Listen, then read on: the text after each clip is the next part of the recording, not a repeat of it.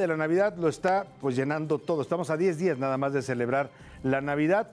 Eh, aquí en el Zócalo de la Ciudad de México ya se llevó a cabo el encendido de las luces con figuras como campanas, piñatas y motivos navideños que están adornando ya el Zócalo y la Plaza de la Constitución.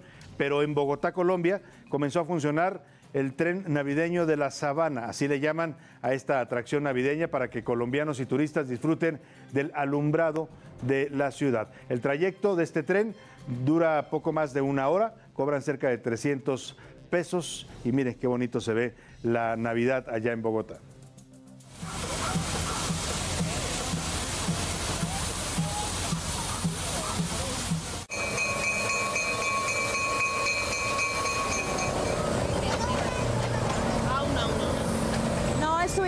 Felices eh, porque fue una experiencia familiar y conociendo toda la ciudad a través del tren.